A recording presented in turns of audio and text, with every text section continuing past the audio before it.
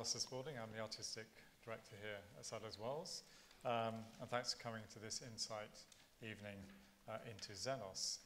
Um, so we have uh, more or less all of the collaborative uh, team uh, for this production here.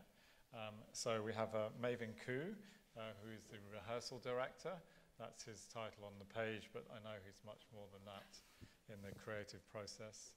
Uh, we have Michael Hulls, the Genius Lighting designer. Um, we have this chap, Akram Khan, who's something uh, to do with it. Ruth Little, uh, who is the dramaturg, and again, much more than that word uh, implies. And uh, Vincenzo Lamagna, who made this fantastic uh, musical score for the evening. Um, but we're also joined uh, tonight, this afternoon, by Royona Mitra. Uh, she's an academic, um, and um, but she's written um, one of the only uh, books about Akram Khan, uh, Akram Khan Dancing New Interculturalism. Um, and uh, it's available on Amazon and all good bookshops. so please go out and buy it. Um, and Royona is, uh, has, is going to, has um, written some uh, provocations um, to uh, help us to have this discussion. So she's written three pieces um, which we're going to um, hear. Um, and after each piece, um, we're going to have a discussion uh, on the panel um, about the issues that she's raised uh, in those provocations. Um, we're going to start off with the first uh, provocation on the politics of writing histories. Uh, and before Royona is uh, going to speak, we're going to have a short video.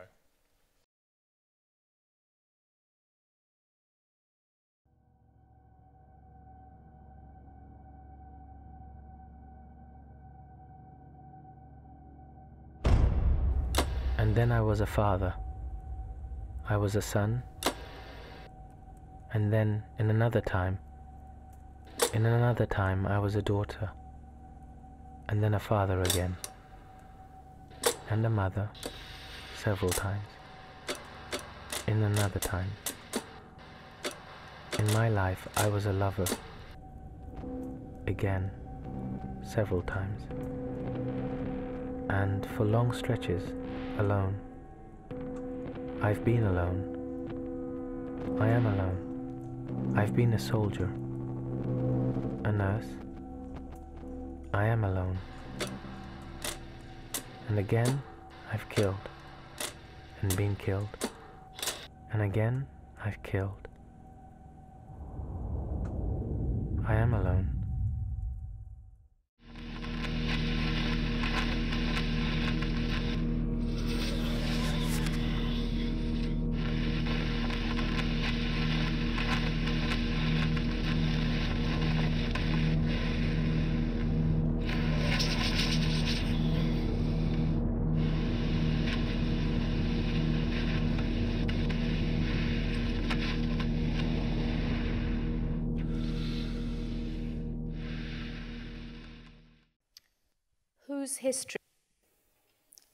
Version? Who writes it? And who gets written out? Can the story of the Great War be retold by those whose voices were silenced? Xenos pulls no punches to expose what the British Ghanaian writer and journalist Afua Hirsch has recently referred to as a state sponsored amnesia with regards to Britain's relationship with its colonial past. It calls out the violent erasure of appro approximately 1.4 million Indian colonial soldiers from the dominant narratives of World War I by casting a stark light on these uncommemorated subjects. And as the beam slowly moves across the audience and blinds us out of our apathetic states, we are all implicated in these erasures. Xenos critiques predominant histories of World War I as incomplete, one dimensional, whitewashed even. It then rewrites these histories by generating complementary narratives that run parallel, intersecting, undercutting, and nuancing the dominant versions. It, it makes history murky by centralizing the Indian soldier, the brown body, at the heart of these narratives, writing himself and his experiences into the very earth that he has been shoveled out of. Thank you.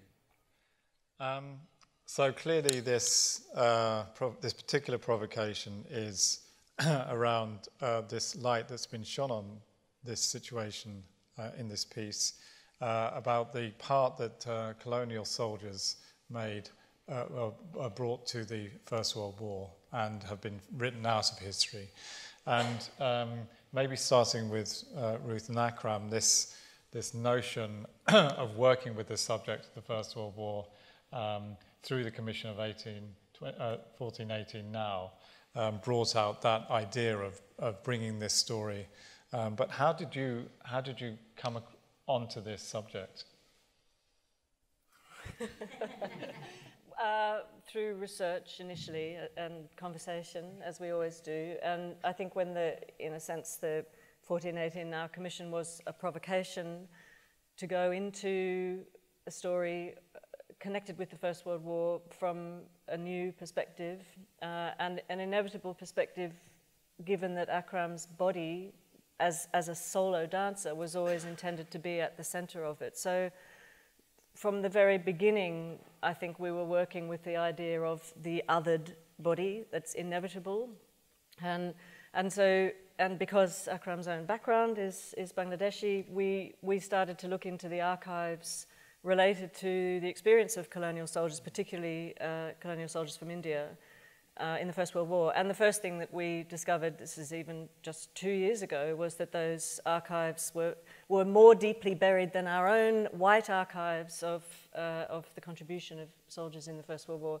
And when using uh, materials at the Imperial War Museum and that very brilliant BBC radio documentary about the ghostly voices of the First World War, we really, ironically, our way, I think, into this project was through voice and was through the voices that had been silenced.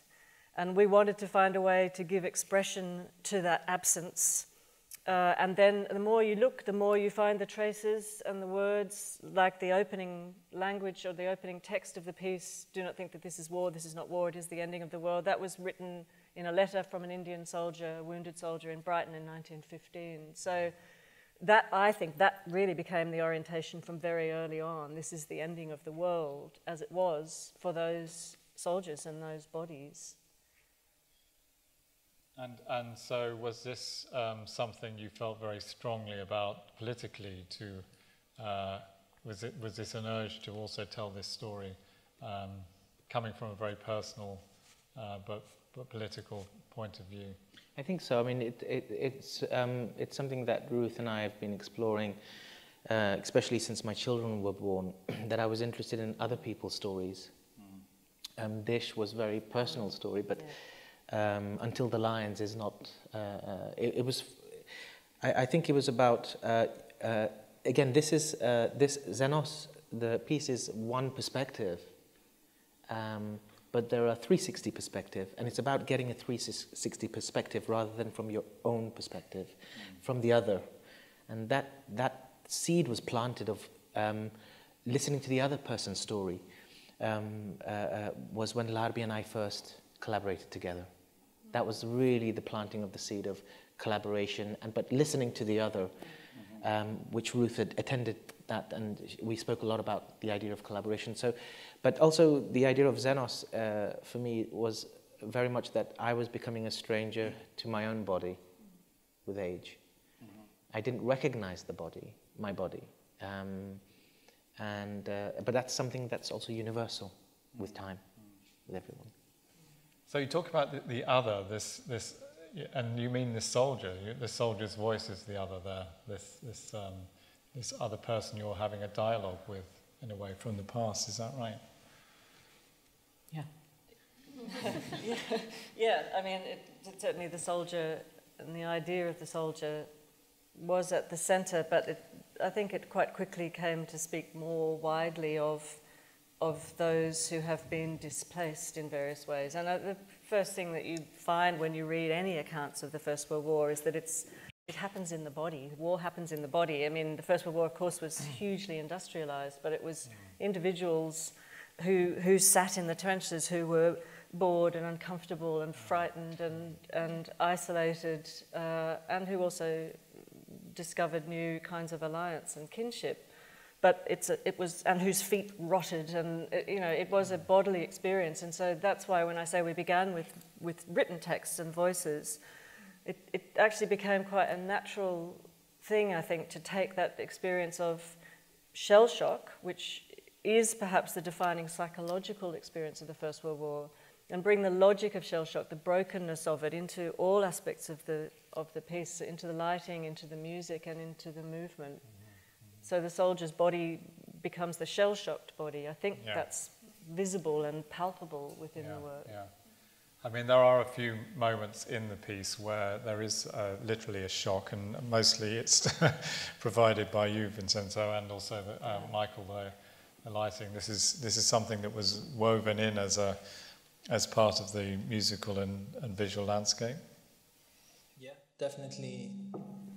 The more we were working on it, the more it was clear that uh, we wanted to create a sense of confusion almost, I guess. You know, when uh, the idea of these uh, in the trenches uh, living a, um, a reality that is not his own one and not knowing where, where he is, like feeling completely out of place and, and disoriented. Yeah, that's that's a great uh, way of putting it. So yeah, the sound, a lot of the sound uh, was conceived with that in mind, with this energy of um, creating a world that it's you can identify elements, but it's not clearly um, necessarily a, a, battlefield. There is an element of that, but it, th- there are there are other aspects to it. So um, I don't know if confusion is the right word, but there is an element of uh, yeah disorientation. Deceives, deceives. Mm-hmm. Because one of the things that must have happened was that it wasn't just that they were thrown into war like all of the other soldiers, but they were taken from such a place far away from their any of their experiences and thrown into this into this hell. Um, so that was an added kind of uh, feeling of isolation and and fear and confusion, as you say. I think one has to, uh, we felt that we have to identify where this person belongs. Before they go on the journey. Otherwise, we will never get a sense of his home yeah. or his. There is a there is a biography that the character that Akram embodies has has a history and has a story, but of course it's not it's not it's not immediately perceived by us when we watch it. But that's precisely the point because those men just became obliterated in every sense, mm. and mm.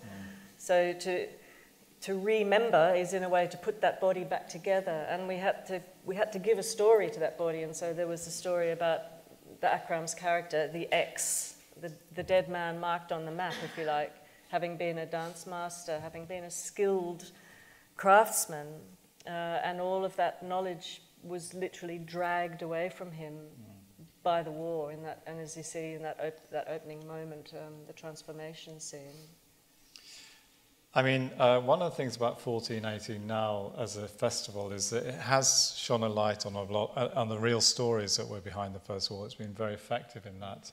But I suppose um, one of my questions is why, why that, why that history was uh, hidden. You know, what was it that that clouded, that put these stories at the bottom of the pile in terms of, well, you know, maybe you have some theories on this.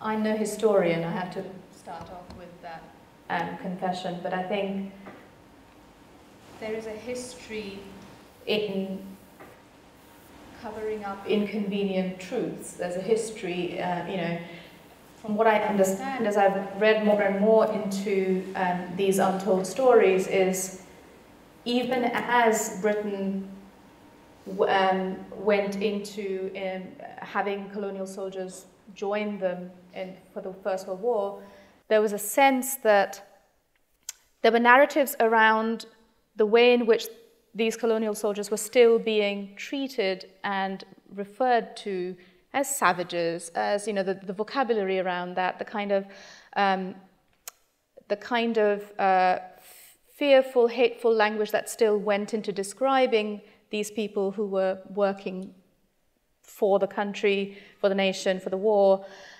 There have been, I think Ruth and I were earlier talking about images of um, English nurses who were found treating Indian colonial soldiers who were, which were kind of censored out of the media.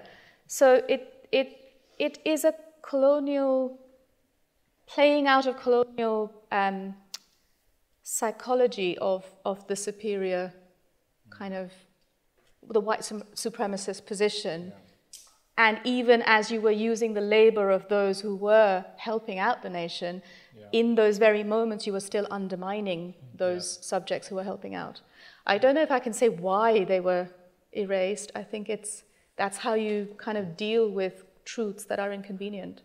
But they, they, were doubly shafted, really, weren't they? Because when they went home, India was embarking on its yeah. its movement towards independence. And, yeah. Yes. Uh, yeah. And so the nationalism yes. that rose in response to the betrayals of the First World War, yes. i.e., you fight for us, we will allow you to yeah. move towards responsible self-government. Mm. Oh no, we won't. Actually, we'll bring in even more onerous laws to yes. control your behaviours and your bodies. Yeah. So anyone who fought in that war had to be pushed aside because they were part of a, a, national shame at that point. Yes, so yeah. they were just got lost completely. It's the same as the Irish soldiers that came back. They yeah. fought in the First World War, then they came back and they were exactly. treated as enemies at home as exactly. well because of the nationalism yeah. that's going on there. So in a way, you were saying that actually it's something to do with the prejudice that was going on at that time, uh, which is still which was then carried on and. Uh, and so, so this is this. Is, did you feel a strong passion to once you once you found out these stories, you really wanted to make this the centerpiece of this work? Yeah, because of history. Because there was this other beginning with Prometheus. It was originally. There still is. Yeah. You just can't see it. it's absorbed into yeah. the body yeah, and the yeah. story. Yeah. yeah. But it was, yeah, originally I was fascinated by Greek mythology, and my mother used to tell me a lot of stories about Greek myth, uh, used to tell me stories of Greek mythology. So Prometheus was the one I loved yeah. mostly, and I thought oh, I'd like to. Uh, we would like to explore that, but uh, we just realized as we were going along that there's so many connections yeah. to uh, the eternal soldier. Mm. Uh, the soldier trapped in the wires is like Prometheus trapped in, in, in, yes. in, the mountains. But is it also something to do with the fact that you, you tend to um, tell universal stories going back to a, pers- to a personal history. You start with a personal kind of um, position, or, or, and then then you widen it out to universal themes in your work. That's the kind of strand, isn't it? A little bit. I mean, Prometheus is more mythical. So it's a, it's a space that lives very much in the past for me, uh, or that's eternal. and I, I felt very strongly with the Indian soldier because it's like I, it was closer in history, time mm. to me. And so there was something about that and then the mythical and, and making from personal. So I connected with the Indian soldier and then the connection to mythical uh, character became, yeah, that relationship is very important, I think. So maybe, maybe I could ask you a question about, what, about dance as a, as a form and how it's good at telling these stories. Do you think it is good? You, I mean, I personally obviously think it's brilliant. But, but is, there, is there a quality you can describe which, because it, it, communicates so, so clearly and, and straightforwardly uh, about some of these uh, issues? Well, I think I can, I can um, elaborate specifically on Akram's work in relation yeah. to dance in that perspective. Because I think what is fascinating is that um, uh, he's with this work in particular, in order for him to find that space where the message became so universal and the experience so tangible for audiences, initially we, there was a deep um, kind of investigation of details. Mm. The work is highly detailed with layers and layers and layers. So it went from the clarity of a kind of biography of who this person was and then there's, a, there's the text of the Indian classical work that he first dances at the piece. Mm. So we went quite heavily in a very classical mode of thinking in terms of how we would delve into that text from an Abhinaya perspective in Indian dance. Mm-hmm. And the more detailed it went, the more it allowed for suggest- suggestions yeah. and possibilities of subtext. Yeah. So I think it's a very specific mode of process yeah. uh, within his dance making um, that is about delving into detailed depth in order for suggestion to be possible. Mm, mm. Um, and we were just saying just now, I think one, because I, I work quite a lot now with Akram and I have this wonderful responsibility of also staging his work, often or coaching his work. I think what is very interesting is the whole um, element that the work essentially, first and foremost, is about an experience that has to be felt. Mm. And because it is so well crafted, it allows for a discourse to happen after. Yeah. But the initial premise is to touch.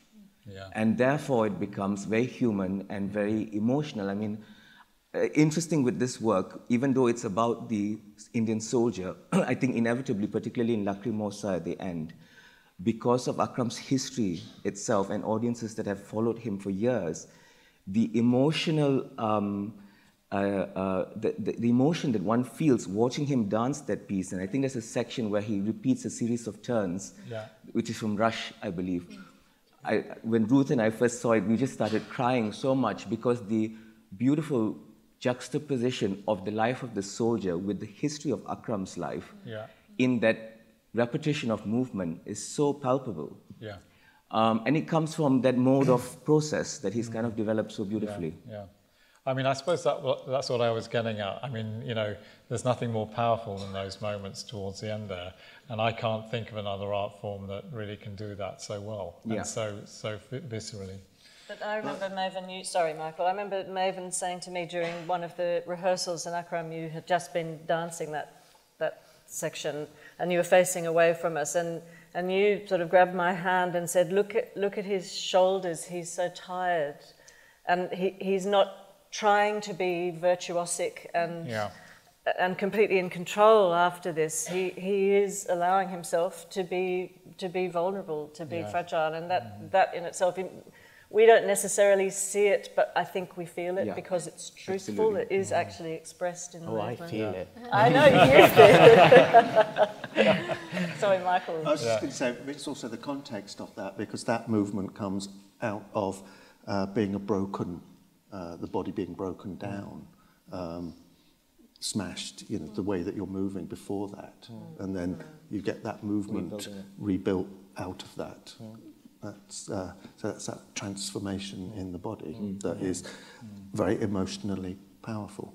And I think that's what's so powerful about the parallel that's beautifully evoked in the piece between the, the mechanization and the kind of othering of the soldiered body and, and, the, and the military training that goes into you know, dehumanizing these bodies, and then the and how that's evoked in that opening classical section, where we do see the body, the, this extreme masterful dancer broken and already traumatized and already fractured. And I think when I watched it for the second time, I've seen it twice this week. The first time I didn't have this, what I'm about to say, but the second time what I, what I felt was I already felt that you were drawing back them on the memory of being at war yeah. in that opening section. It was already broken. Yeah. yeah. Can I ask um, a question to all the collaborators? Um, in that once this, uh, uh, basically how it works, um, once this subject is decided upon and uh, uh, and that's the exploration, how, how does that work in terms of the communication and the involvement of the collaborators? At what stage uh, are you are you introduced to these themes? And uh, Michael, I'll ask you first. Is it, is it you come in day before the premiere and do the lighting? Or? yeah, yeah, exactly that. About 10 minutes before, and just go, yeah, it is. Um, as, I mean, I can't say, I don't know exactly when the process, you know, started. Um, so I don't know, I suspect it was quite near the beginning that I was aware of, uh, of these two themes, uh, First World War, uh, you know, Indian you know, colonial soldier, and uh, this interest in the Promethean myth. Um, yeah, I think it's quite, it's quite early. I mean, I don't know how long this idea has been like kind of slightly fermenting yeah. in Akram and Ruth's head.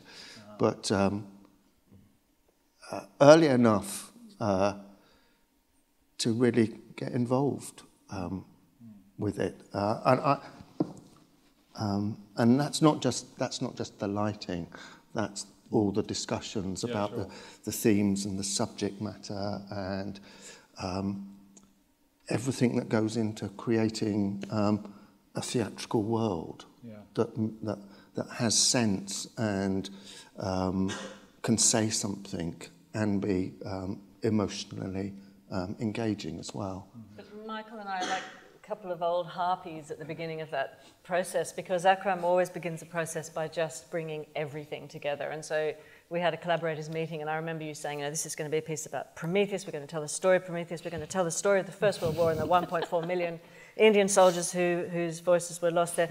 And we're going to tell a story about artificial intelligence because I really want to tell a story about artificial intelligence. And I remember and, Michael. and body hacking and Yeah. future technology. I remember Michael like- sending a little email at the end of that day, sort of going, "Whoa, whoa, we, we can't do everything at once." So, and we didn't do everything at once, and the artificial intelligence just keeps on getting parked project by project. so, it will happen. There's no Next question about that at all. But it is interesting how you begin with this sort of whole realm of possibilities and. And gradually, things get, I I think they either get shed or absorbed. Those are the two things that happen to them. Uh, but nothing is lost. Absolutely nothing is lost. But you have to go through this process where you've, there's a wall of impossible scale coming at you in terms of the subject matter. And you Yeah. know that it won't end that way, but you still have to go through it to let, Yeah. to let that refining happen, I think. Okay. So I think, it, yeah, quite quickly for me, um, it became apparent that the myth of Prometheus and uh, colonial soldiers in the First World War was kind of more than enough on its own. and so there's a process of where you strip away, you get rid of uh, what's not really crucial, you know, to something. I mean, just Okay, so then the, the Promethean myth became less important, but having it there at the beginning makes you look for connections and uh, images arise out of how do these two things kind of relate? How can we make kind of sense and, and combine uh, these two ideas? Yeah, yeah. I've been given the red light, so we have to move on to the next uh, topic. Um, and um, so uh, we are on to the present. Uh, so again, we're going to see a little uh, video first.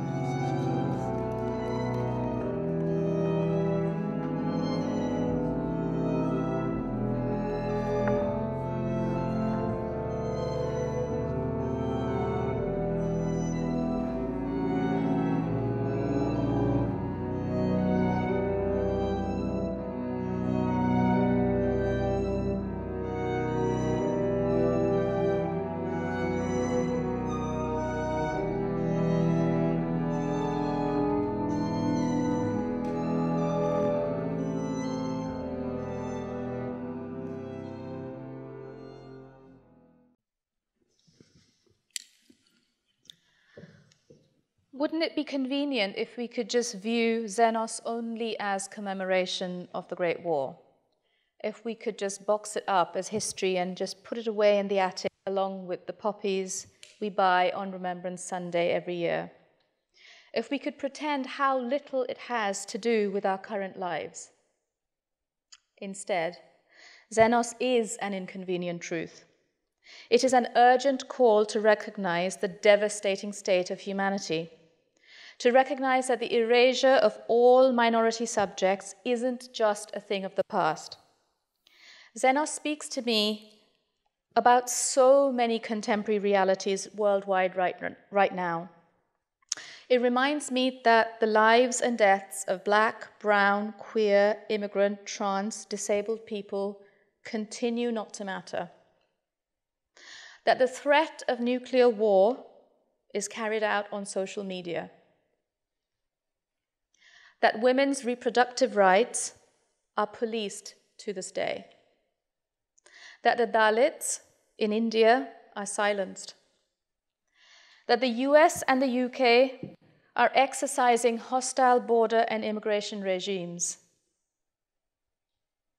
That nations are increasingly isolationist, protectionist, and inward looking. That we're hurtling towards this thing called Brexit at the speed of light. I could go on and on and on. So, um, I suppose what you're saying is that although this uh, piece, the subject matter, started in one way, uh, it says so many other things about the world we're living in. And we were talking a little bit earlier about when you um, premiered this work in Athens. Mm-hmm. Many people, I think Vincenzo, you were saying, uh, many people were saying this is all about immigration. uh, this is about how people are uh, always seen as the other and uh, and a, a, a, unfriendly way. So, you want to just well, there was I, I was speaking to someone from the audience, and there was a beautiful comment actually. Um, she said, "I felt the loneliness that uh, the immigrants, mm. the refugees, must feel mm. during the journey," yeah. and that uh, made me. Um, smile in a, in a not not about what she was saying, but by the fact that we managed to um, make her feel something that wasn't directly what the story that we were saying, but I realized that the piece was more universal than, than just the story of, um, of, of, the, of the Indian, Indian soldier. And perhaps because I guess the refugee crisis is very, uh, is felt a lot in Greece as well as in Italy actually. Um, but yeah, I, there was this very powerful feedback about how the loneliness of Akram on stage um, resonated with her on that on that side. Did you expect that to happen in this? That, that it would have bec- become more universal than that than the one we, subject. I think we we did actually from the beginning think of it through the lens of of the refugee. Mm. I don't want to call it a crisis because that makes it sound as though it's a passing thing. It's mm. a condition mm. now, and, uh, and, and in fact, I found a list last night of of the sort of originating impulses, and one of them was refugees, because that, that, carried through from the making of Giselle, where that was very much a part of the conversation. And, and then to be in Athens, you are always reminded of the fact that, that Greece uh, is, is, or has been at the epicenter of so much of that human movement. And we talked a lot about and explored the idea of the trenches as a kind of hostile environment, but actually, a, hostile environment isn't just a place, it can mm. also be a mm. policy. And it was Theresa May's policy as Home Secretary to actually create a hostile environment for migrants and refugees. And the piece is called Xenos, which means stranger, it also means guest. And I think that those two meanings are really important and, and played a big role in all of the conversations that we had about mm. the ways in which we, we hold others away from us.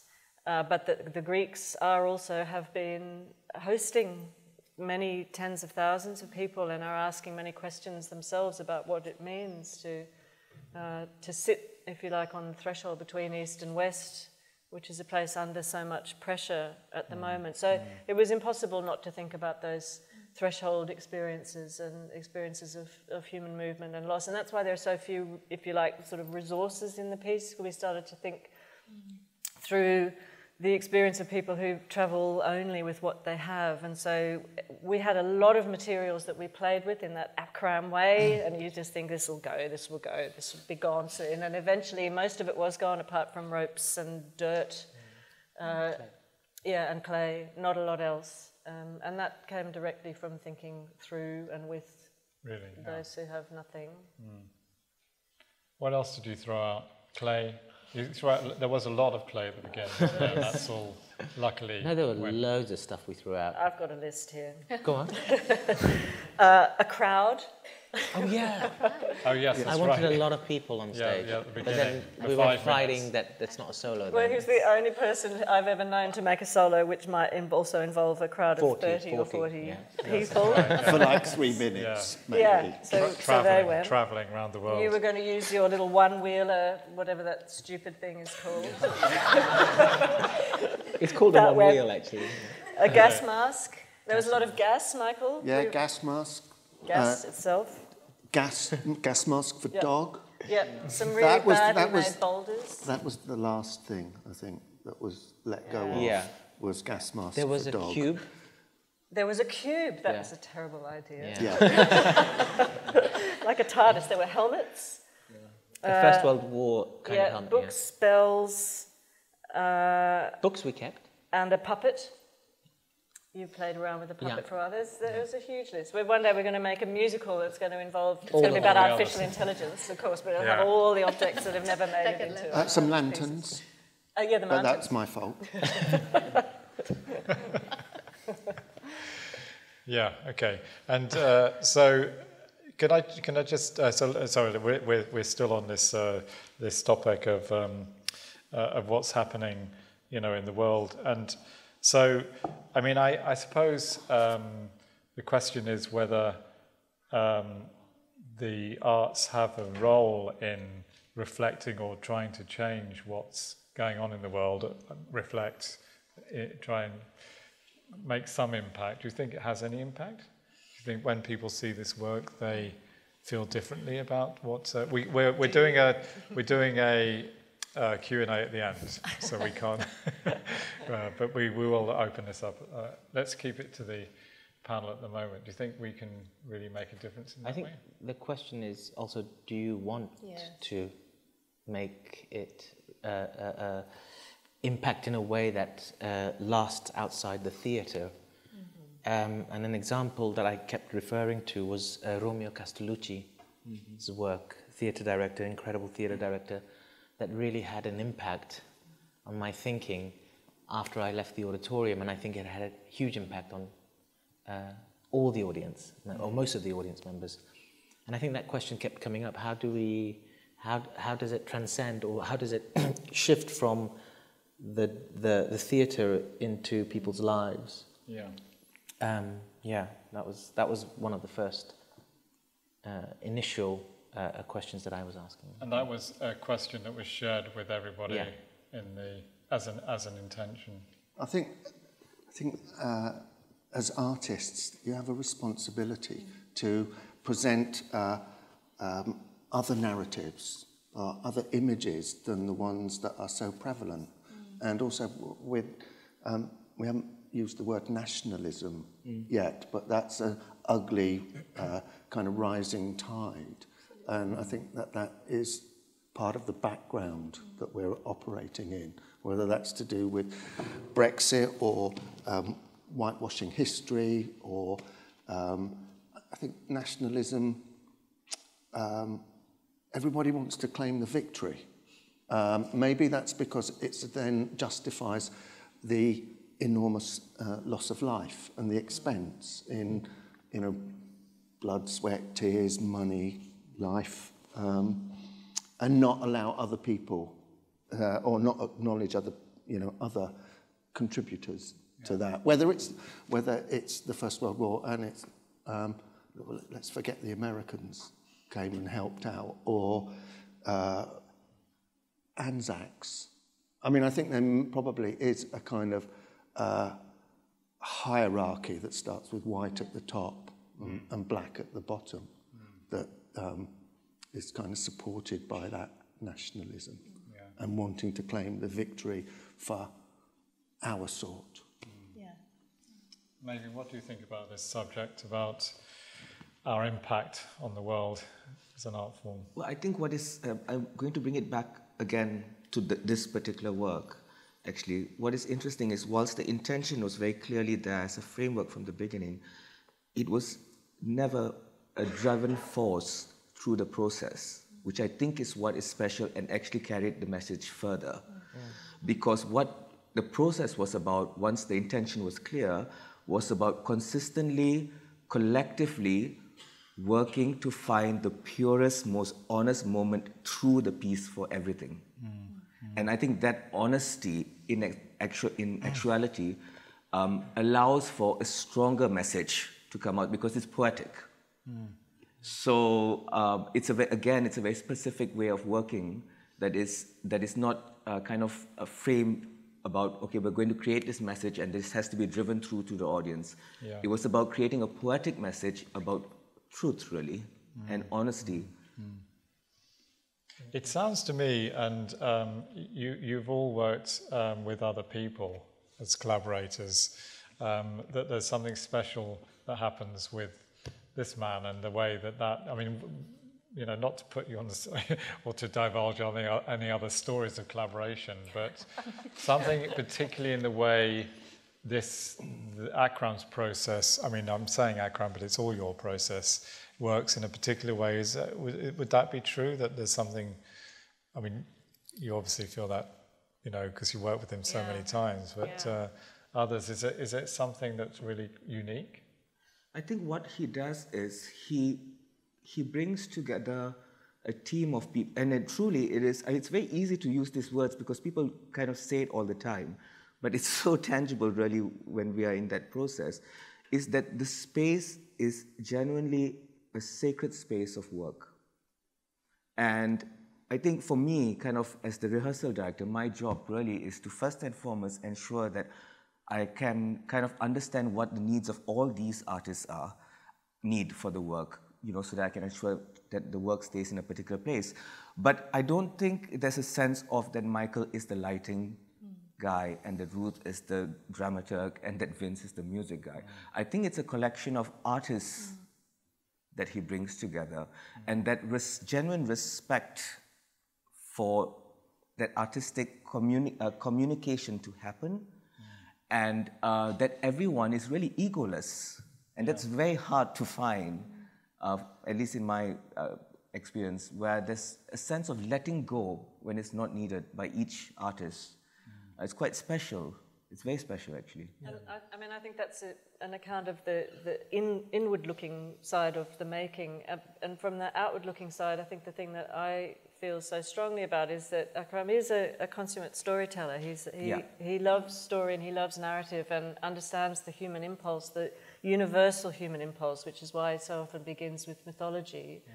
Um, because it, it underpins so much of, or so many of the stories that we continue to tell. But I think that beyond that, he also has an incredible uh, respect for and trust in ambiguity. And, mm-hmm. and that, to me, speaks to all of us as audiences because it, it empowers us to complete these stories for ourselves rather than to sit there passively and receive something that's already completed. And I'm absolutely loving watching the signers. I always love watching signers because for me, their storytelling is ambiguous, but it also has a great precision in it. And that's that combination, I think, of ambiguity and, and precision. That's where the human truth and the expanded sense of what it is to be human lies for me. Yeah. And I think the ambiguity takes you to a place of discomfort as well as an audience member, which, which is both empowering as, and at the same time, it's profoundly disorientating, yeah. going back to that yeah, first word. And I think it reflects back on the experience of trying to figure it out in the moment, as often you are as artists working together. It's not, you know, that sense of that sense of ambiguity completing the jigsaw is also the experience of often being the other and working your way through life trying to understand it. So that transcends really powerfully through the works is that this is not just something that you want to complete as an audience member, this is also how it feels to be me, how yeah. it feels to be these people in these yeah. stories. I, have got, I have a, uh, a, black friend who describes it as uh, cultural proprioception, yeah. trying, literally right, trying to find your body in yeah. space as you move through yeah. somebody else's culture. And, yes. and I think that that's, Akram has experienced that and, and is communicating that experience in this piece as well.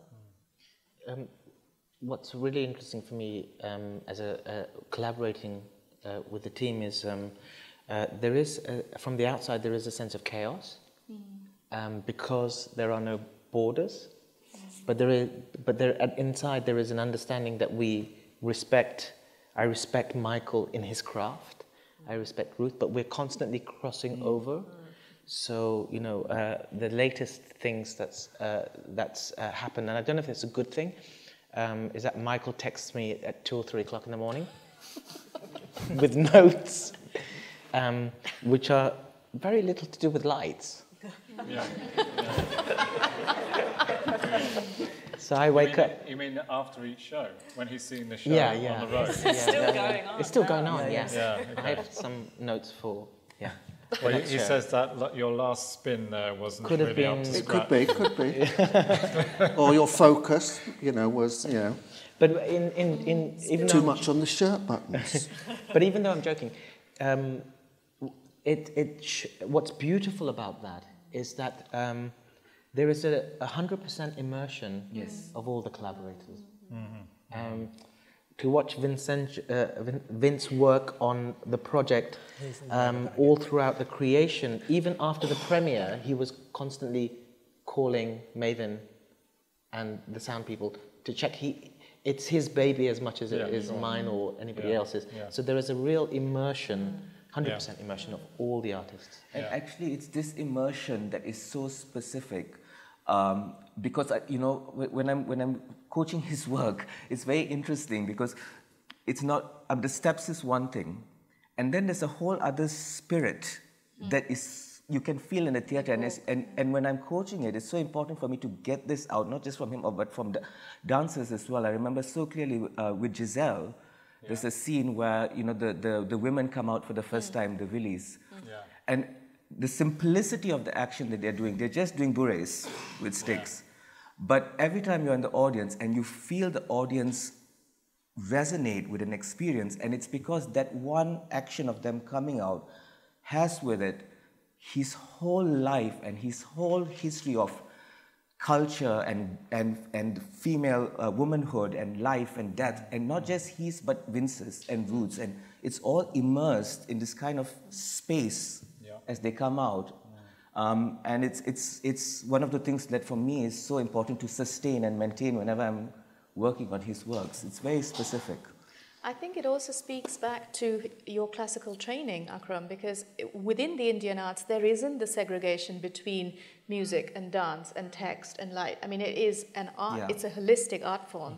And I think what you're hearing here and what, and what is obviously evident is that that immersive, holistic relationship to art where it spills over and there aren't these hierarchies and demarcations and barriers. And yeah, it's It seems to me. It comes sorry. back to the other.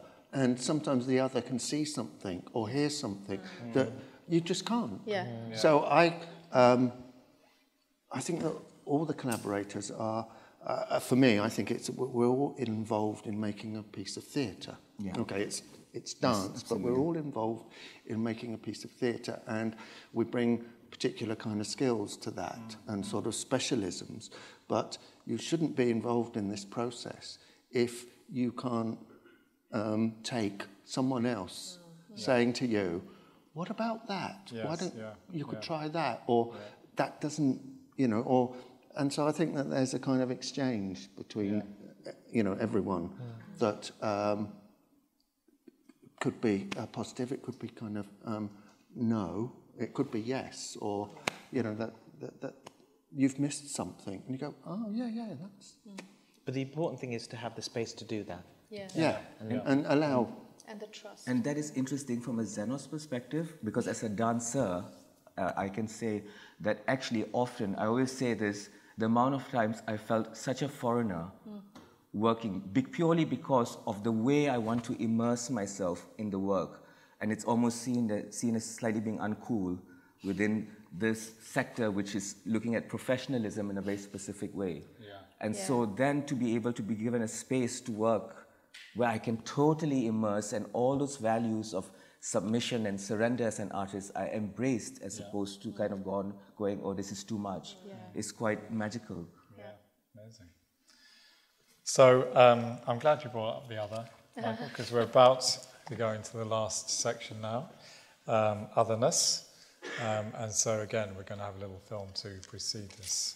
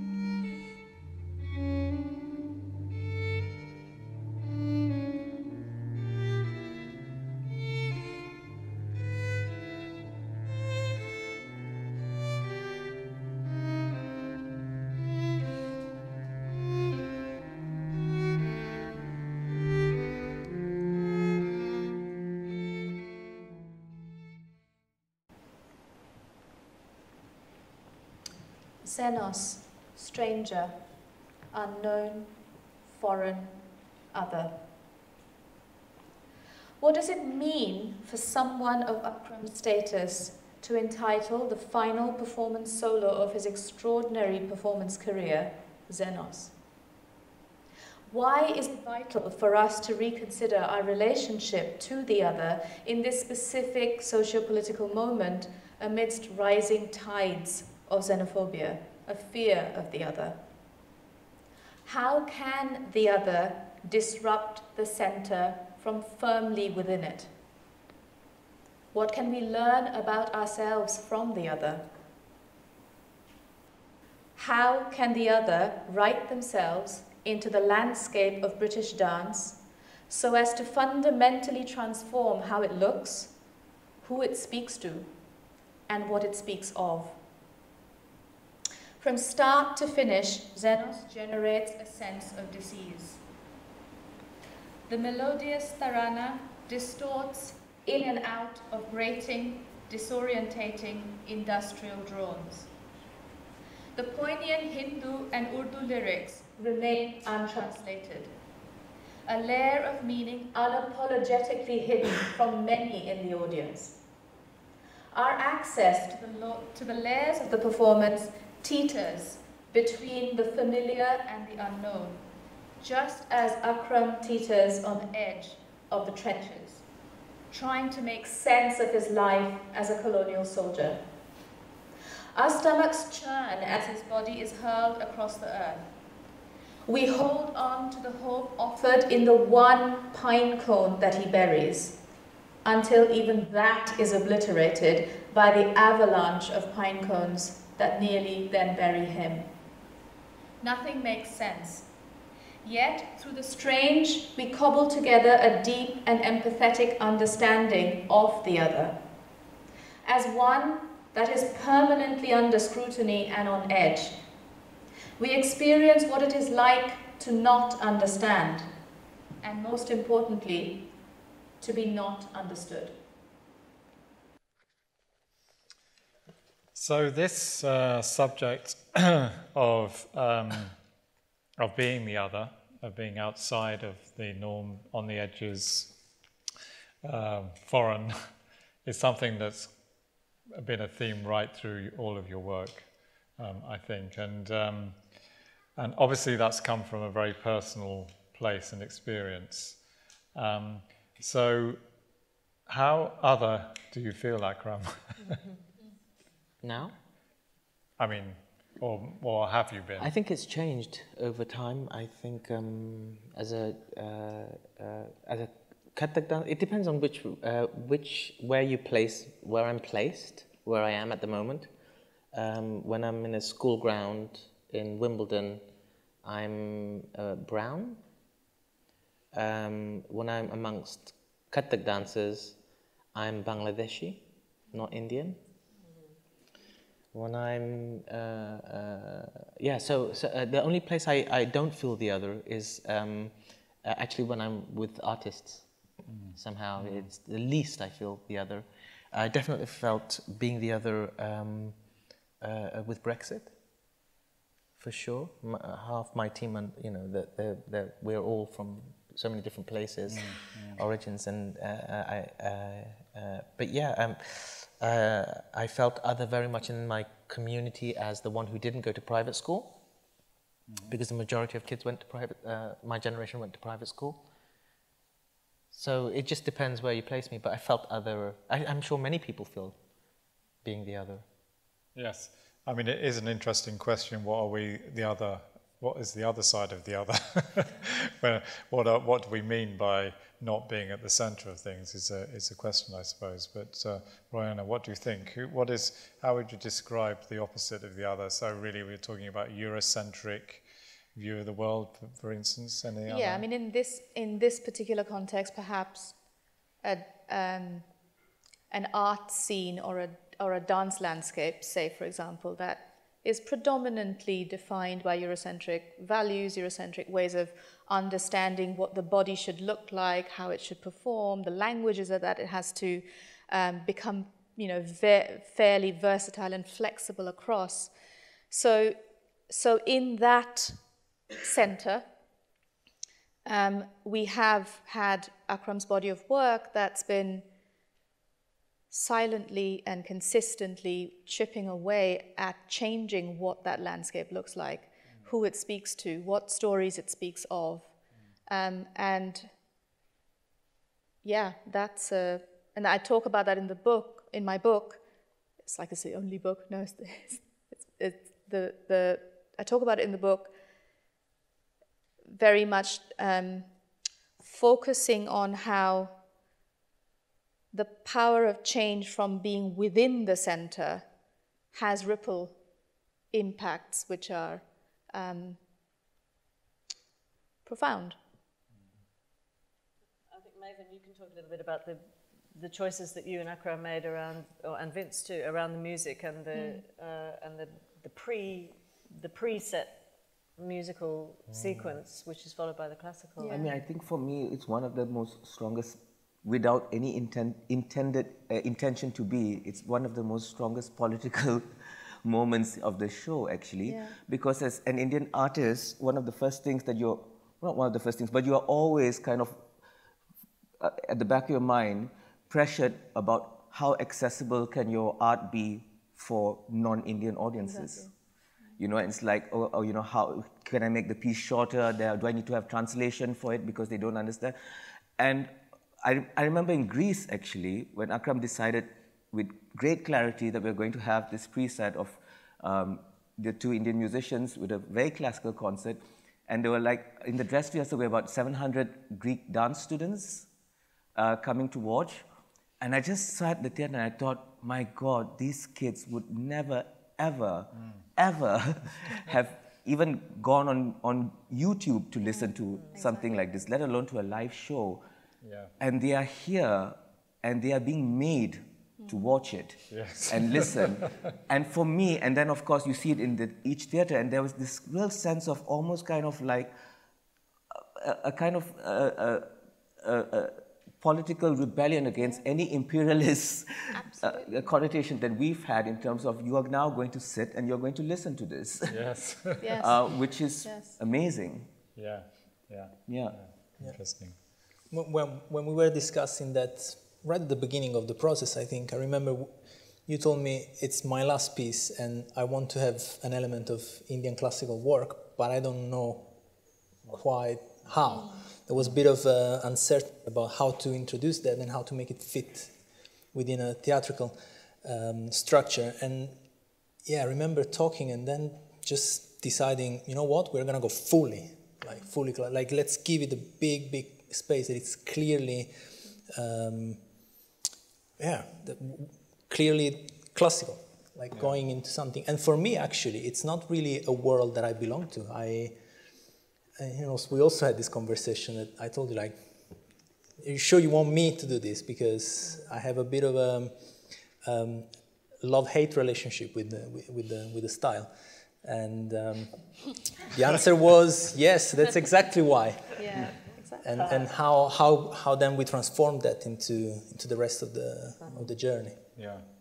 And Akram had a good um, reflection of yesterday's performance when you were saying how the Indian audience were guiding guiding the uh, the, the the white audience. Yeah. yeah.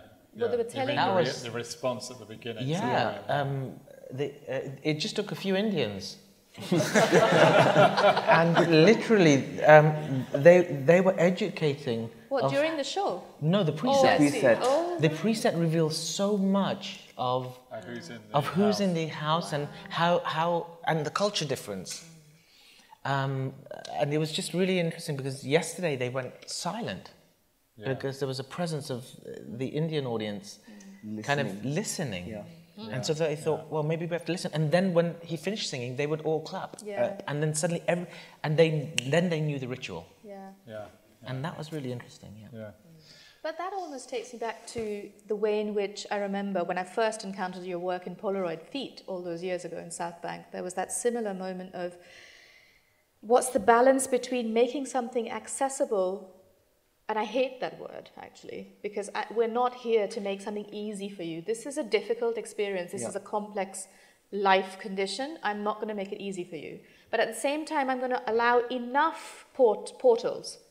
And if you want, mm. you can then enter that portal to try and mm. find out more about this experience. So that, to me, is exactly what your work does. Is it just lends these ways in if you want it.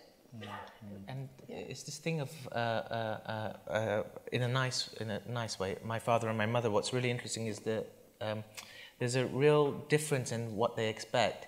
There's the entitlement that my father has, that um, you know says, well, um, uh, Akram, I, did, I didn't understand the show. You know that scene, I didn't understand. Why were you not clear about it? And and um, and then I would explain what it, uh, what my version, what my version is, and he, he, he would say, oh, so you should make that clearer. Um, and then there's my mother, who who doesn't think in an entitled way that you know we should know the story, where she has a huge sense of curiosity to imagine what her version of it was. And so it's in, in, in my parents. There's complete dual, uh, different uh, uh, ways of approaching the work, and there is for, for all of us. I think that it was very important to be um, accessible in a, in a universal sense.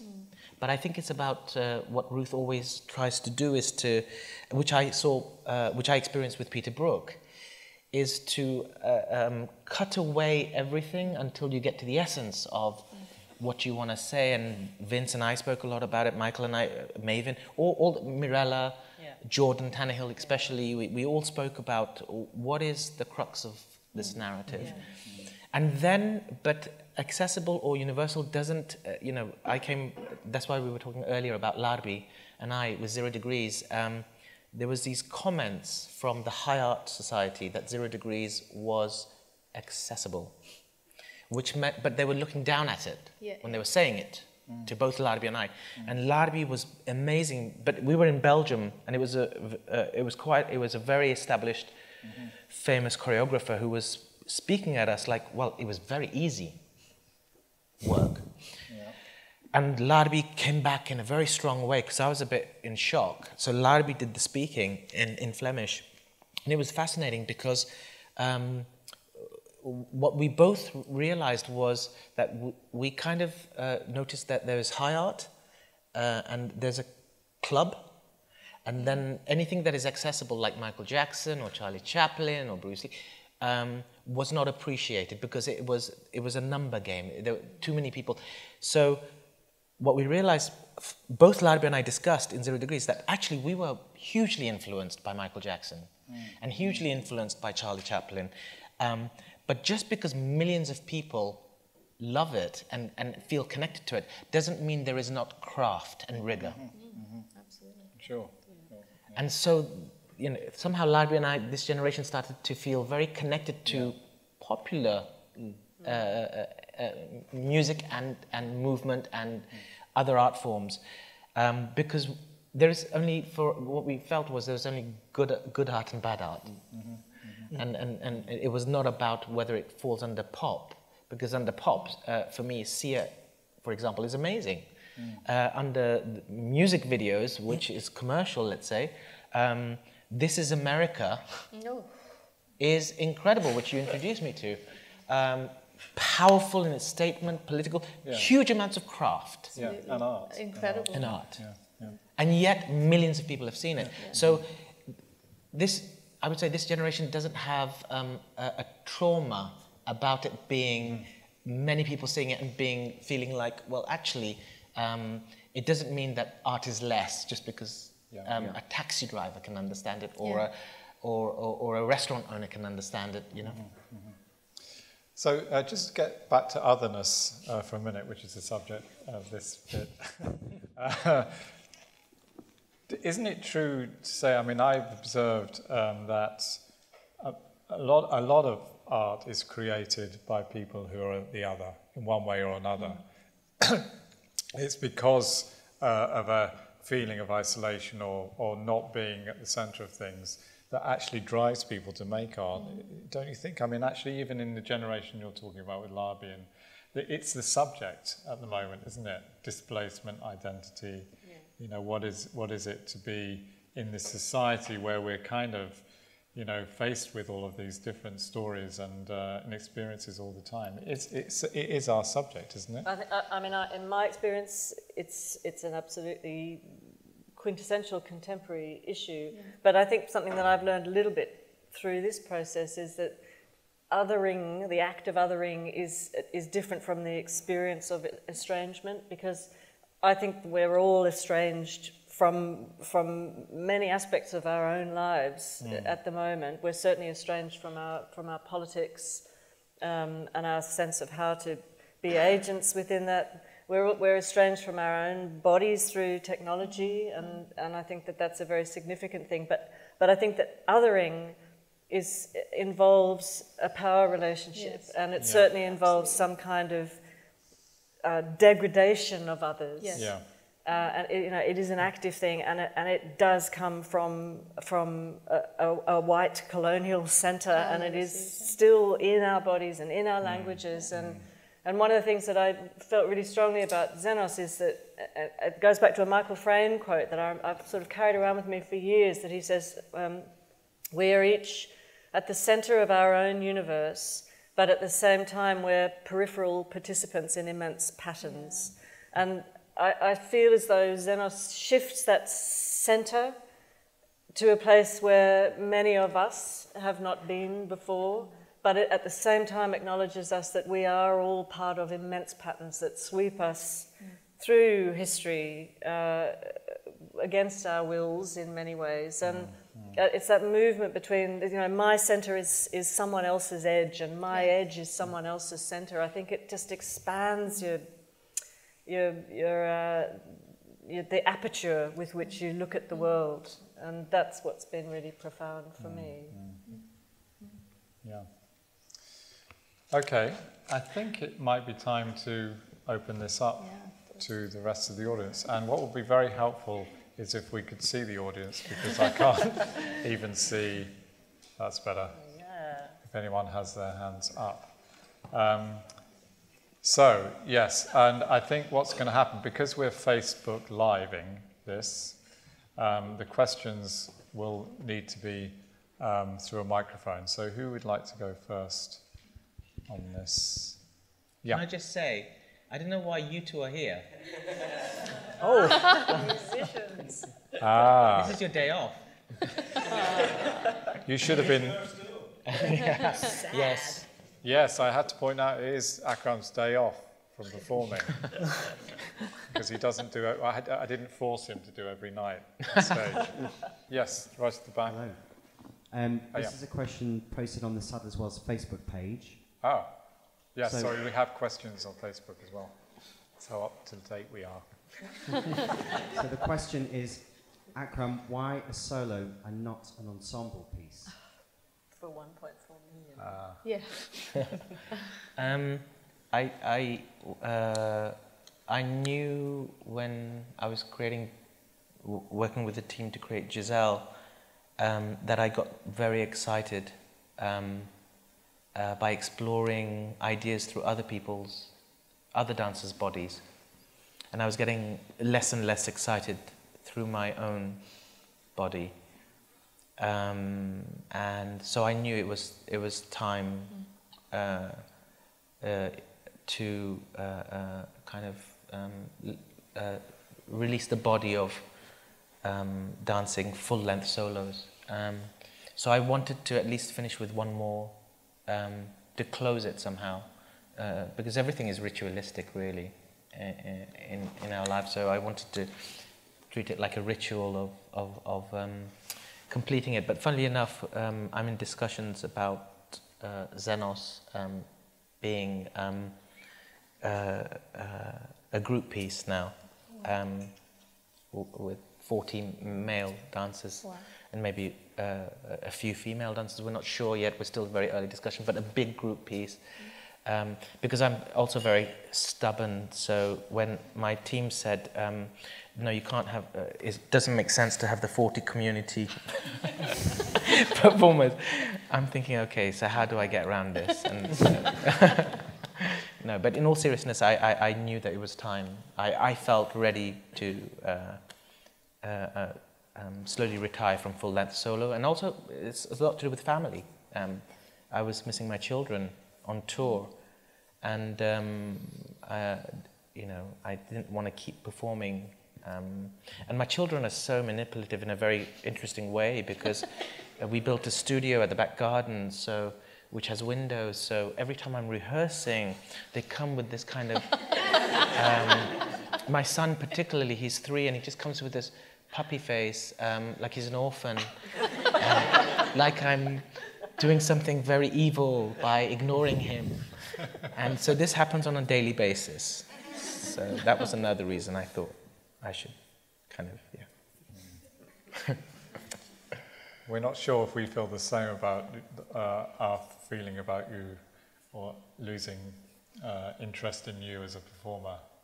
You may be thinking that No, yourself, but I- we are, we're definitely not. as a performer, I'm really interested, but as a, as a dancer, uh, I, I feel um, uh, I, because my, my body speaks many things of um, of what I wanted to speak. It doesn't speak. It speaks more of pain and it complains a lot. It nags a lot, um, and uh, you just like stop it.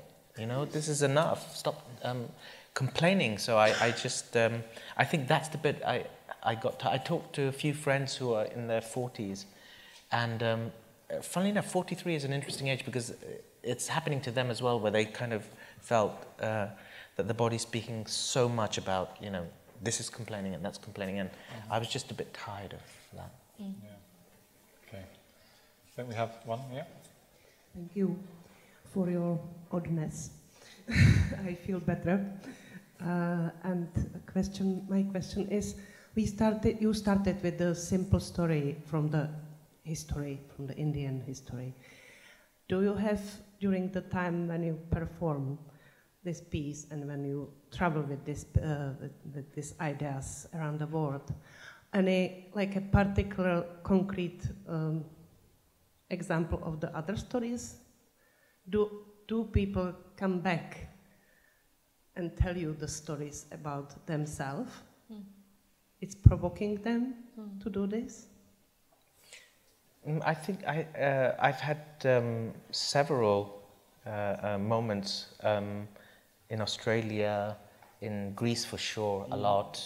Um, uh, it was really interesting because there was a little girl who saw the show in Greece, and it was, I think, um, one of the CEOs of that, um, that theatre, that building, Onassis Centre, and um, it was her. She she had two daughters, I think, and one of the daughter was very small, and the other one was, but they both were at the show, and um, uh, uh, uh, she she, uh, she came to see the show, and then was sent home straight after the show because it was quite late, and I think she was um, uh, the the childminder or, or, or the nanny was explaining in the car to her um, that uh, this show is too adult for you. Um, you should not have been seeing this show. and the, the youngest one, I think, said, uh, started to cry and said, No, you don't understand. I understood the piece. I connected with the piece. Um, the pine cones, which we still um, are questioning uh, uh, what it concretely means to us. We're still investigating. We just believe in it. But the little girl said um, that it's the souls of, of the, the, the, the Xenos, uh, the foreigners who, who um, haven't been buried properly. Wow. Because I constantly was making Yeah. mounds of earth right from the beginning till the end. And in the end, I put the pine cone. And she said he, put, he found the pine cone, the soul, to be buried in the earth so it can grow again. So there's hope. Exactly. And that came from a little girl. Um, and then, of course, I, I and we went. Uh, that's exactly what we were thinking, and that became a very significant part of the narrative. But it's it's it's it's it's amazing how different people, yeah, come in different countries to to and respond to the work and how they feel, because I think Xenos is not. Yeah, I hope that it's. We hope that it's not just. It's a, It's about. We are all strangers, like Ruth was saying. We're all strangers uh, from politics, from something, to something. And so it's a u- universal epidemic. There's someone in the middle there. You get? Can someone get that person a mic? Oh, yeah. Thank you for not blaming the Greeks for once, being born in Athens a long, long time ago. So it's good to hear very good things about Athens. Have you had your title before you start the piece, or did you put the title on at the end? I can't remember. I, I, I, it was always there when it used to be Xenos um, uh, disarming the gods, Yes. which sounded really pretentious. So I'm glad we lost that too. Yeah. But, the, but it, it was Xenos right from the beginning, wasn't it? But I don't know where that came from. You, you I, I think. I, I, I go through, I have a collection of titles that sometimes I like a word and I love the meaning of it. So I still have like uh, 30 or 40 uh, titles. And uh, when, I, when we were talking about Prometheus, that was, um, Xenos was the first uh, one that uh, connected And with we it. actually say Xenos. Xenos, yeah. Xenos. yeah. Oh, yeah. Get it right. Sometimes, yeah, a bit sharper. Yeah. and also, sometimes on the other side, being outside, don't you feel one can look in and find things about places, about people that once you're in it, you can't really see. So therefore, you make Mm. more interesting work. Well, that relates really to your Yeah. question, doesn't it? That to be in the mainstream is But to still, yeah. potentially to shift the centre and not and to see everything else as the margins again. And we, and I think we are all perpetually at risk of that. Um, I mean, I, I obviously I'm not answering for Akram, but from my experience with the company, yes, it is a very privileged company it's well resourced compared with so many other companies. But, but one thing that I really feel strongly is that as, as a result of that and in awareness of that, I think that Akram in particular and everyone within that company tries to throw the net of opportunity as widely as possible. And I, I mean, it is really true that, that Akram, at so many levels, and most of them invisible to us, is involved in mentoring young artists and young people all the time. And, and he didn't say that. He could have said in response to your question that, that that is, in a sense, and it doesn't happen out of guilt, it happens out of a sense of what do we do with the resource to make this, this to amplify the possibilities that we're all involved in? And I, and I genuinely believe that that happens in acknowledgement of the fact that it comes from a privileged place where there's the potential to do it.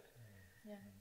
It's a complicated thing, this relationship between the center and the edge. It really, really is. It could, it, it could be quite easy to become complicit in the privilege and not necessarily still remain that, uh, retain that sense of critique and distance. But I think you, you, yeah, there's a, there's a fine balance there that's tread, Yeah. as you've explained. Yeah.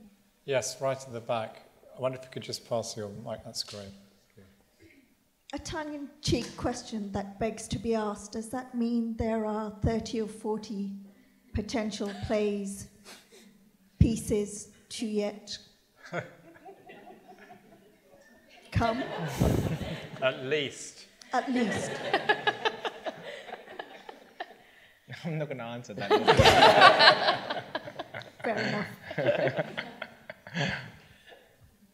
Yeah. Hi, I'm Rita. I'm from Portugal. And uh, I would like to ask beyond all the subjects that we have been talking that are very connected with this piece, Xenos, I would like to know uh, which are the, the, the message of hope that you want to address with this piece, Xenos. Thank you. Does somebody else want to respond? Mavin? Uh, Michael? Complex sense.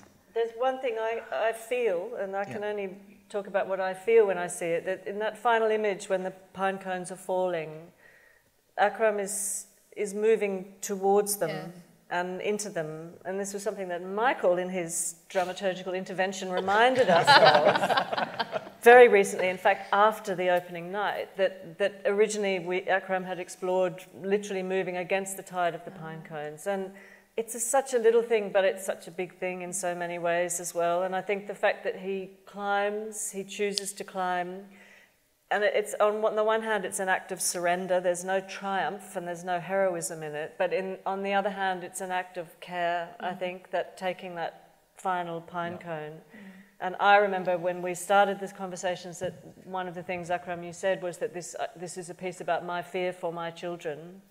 Um, that they too will be washed away, swept away in, in the, this deranged tide that we let loose upon ourselves. And, and it, has, it feels to me that the hope lies in, in standing in resistance to that flow. And if that means resistance to social media and to, you know, to some of the things that we're all in danger of being swept away by, then it feels valid and it feels valuable, but also in resistance to the myths that, that would carry us away, to create our own myths in response to the situation that we find ourselves in, to find ways to expand our sense of what it is to be human. That's what, that's what to me, what all art really does at its best. And a resistance to stillness. I think yeah. hope lies in movement that we can't, I'm not saying physical movement, but we have to constantly keep moving. I think we have another question on Facebook. Yeah. Uh, this question uh, comes from the Akram Khan Company Facebook page. Um, Alina asks, You've mentioned that when you hear music, you see movement. I was amazed by the way you all, i.e., the creative team, visualize exactly what you have in mind in a way that the audience understands it. So, does it start with the music? of course. Well, no, you. I, will take it after you. No, no, you first. no, no, you first. Come on. Um, I think movement uh, is the first trigger but movement, um, this, is, this, is, me trying to be clever. Movement uh, in is the beginning of everything, actually, of music. Mm. For music to happen, there has to be vibration. Mm. So it could take place in form of music sometimes, mm. and sometimes it, it starts with music, but that's still back to movement or it could start with an image which provokes me or us, and that's also a movement. So it, it's, it's, it's about vibration, really. So it could take, it could start from movement or music or a word. Yeah. Yeah, it's, it's a very organic process. To go back to what we were discussing at the very beginning of this talk, it's this group walk, works like, a, like one body. It needs to become one element. And I believe we, we just um, create the, the space and the energy for us to find, um, to, to let the piece come out on its own. It's just like we, we allow that to happen. So, in a way, um, music, movement, ideas, they all come together. And, and I mean, practically, we sit down and talk a lot there's a, there's a good six months of talk and conversations, which obviously spark all the idea, the practical ideas. But um, as philosophical as it can sound, but it's really an organic process of uh, a whole body that moves together towards one goal, which is um, let the art come out. That's that's how I see it. And it's funny because you don't, I don't really know. That's why I was looking at Ruth, like the title it becomes unimportant who originates the mm-hmm. idea in the group. I mean, sometimes one movement idea might come from Michael, or Mavin might suggest something with the sound, or Ruth might suggest something with the lights that triggers Michael to then do something, or for me to do something in our own field. So it's it's yeah, it's it's um, a collective kind of. Yeah, I don't know where it comes from. Manju really. said to me the other day, "There's six performers but one voice," and I think that's the outcome. Yeah. And, yeah. and actually, there's a, there are pulses that run through the drumming, through, through the score, but then they also run into Akram's body, and likewise the other way. So the thrashing of the rope sends a pulse along the rope. that enters into the, the movement as well as the music. And I think that the, it's true that they are about vibration and pulse, and, and it flows from one to the other. It, it should. And there's just. Um, Mirella, who uh, designed the, the set, Set. the scenographer, isn't here. But um, so I'm just imagining that for her, she has to come up with something quite early on relative to where we're at. I, I could go and change the lights now. Vince could change a bit of music. We could change a little, we could change things now. But that set's quite monolithic. So, in terms, that's a big uh, part of the starting point Yeah. for Yeah. me Yeah.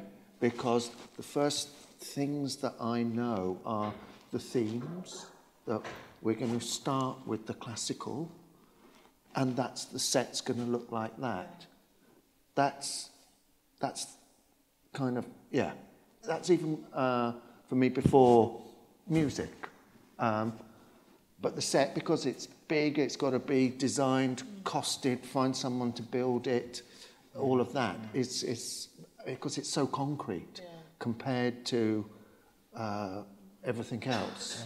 That's that's a kind of uh, big starting point. The place we're going to live in. The place, this is it. That we, this is physically the world, and can what can be done with that slope? Is it too Yeah, steep? Is it not steep enough? it. What's behind it? And so that's a. r- Uh, so I'm sure um, Mirella might feel that she's kind of very much in the, the person who's got the blank canvas, uh, and that other things are going to develop, but that early on she's got to, you know, come up. But something that we kind of all go, yeah. Okay, I th- I'm afraid we have to stop because this is a Facebook Live thing. So uh, we have run out of time. And, um, but I want to thank you for coming. Uh, this was fascinating. Uh, I hope you enjoyed it as much as I did. Uh, thank you for coming. Thank you very much uh, to Royona for the um, provocations, and thank you for the, to the, to the collaborators for being here, and thank you for the signers. Yeah. Thank you very much.